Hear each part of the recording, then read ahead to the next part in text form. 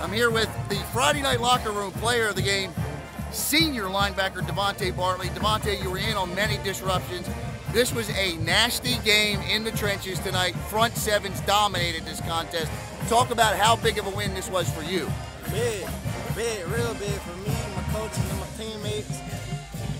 We just extended our season to another week.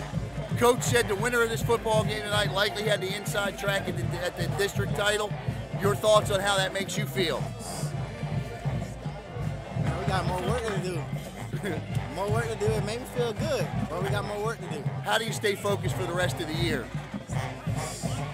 Practice, Practice? practice. Motivation from the coaches. Davonte, what are your future plans as a senior? Uh, either going to college to play football or the Army. I hear you. He is Davonte Bartley, senior linebacker for the Heritage Panthers, who remain undefeated in district play.